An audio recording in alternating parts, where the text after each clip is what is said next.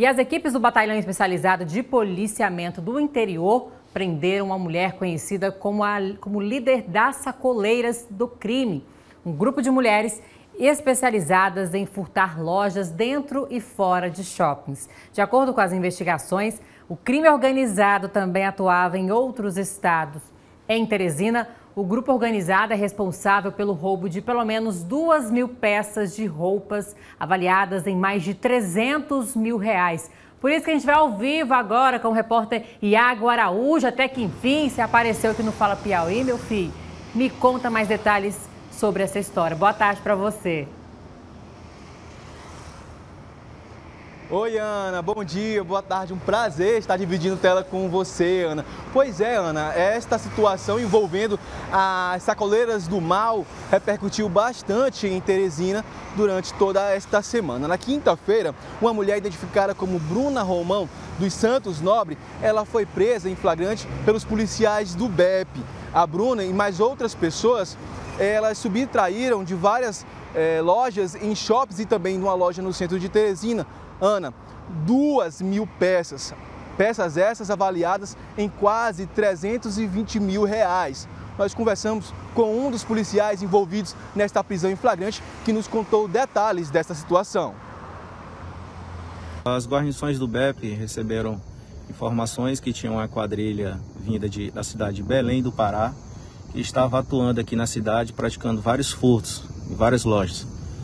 E Hoje, as guarnições do BEP conseguiram lograr êxito e prender uma da, das envolvidas e boa parte da mercadoria foi recuperada. Ela é de fora, não é isso? Da cidade de Belém do Pará. Ela já foi presa por um crime do mesmo tipo? Tem essa informação? Ela confessou para a guarnição que sempre vinha fazendo esses delitos em vários estados e hoje aqui em Teresina a guarnição do BEP conseguiu lograr êxito e prender a mesma. Isso mesmo, Ana. Ela foi presa em flagrante, encaminhada para a central de flagrantes e no outro dia ela foi para a audiência de custódia. Sabe o que aconteceu? Ela ficou presa. A central de custódia converteu a prisão dela em flagrante em prisão preventiva. Ela será transferida para algum dos presídios femininos do estado do Piauí. A defesa da Bruna até mesmo entrou com a ação aonde pedia uma prisão domiciliar, pois ela teria um filho de 11 anos mas essa decisão não foi acatada pelo Ministério Público.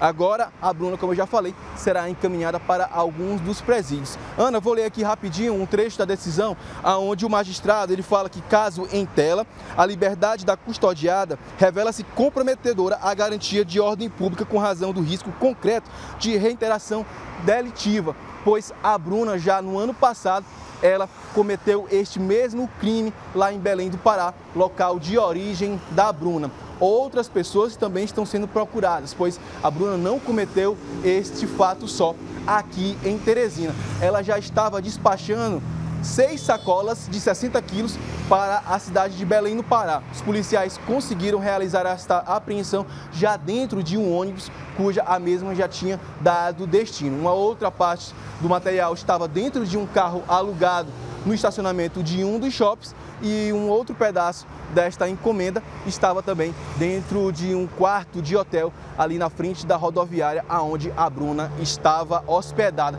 Já pensou, Ana, você com duas mil novas peças de roupa para você e para o seu baby que está chegando?